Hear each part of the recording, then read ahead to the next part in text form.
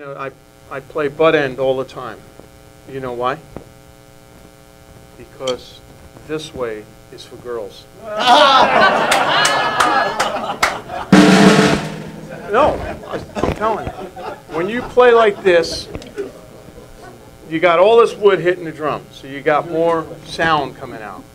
All right, it's heavier and, you know, it's got a better sound on the drum. I'll, I'll show you, watch.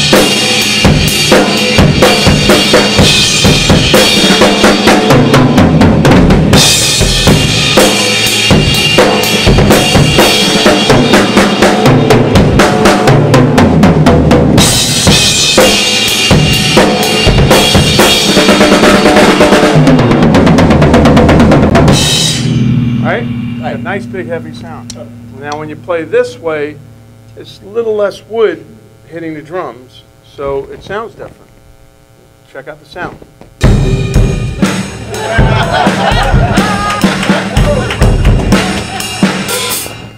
There's no comparison. So Okay, well, my I play this way. hard, so I'm not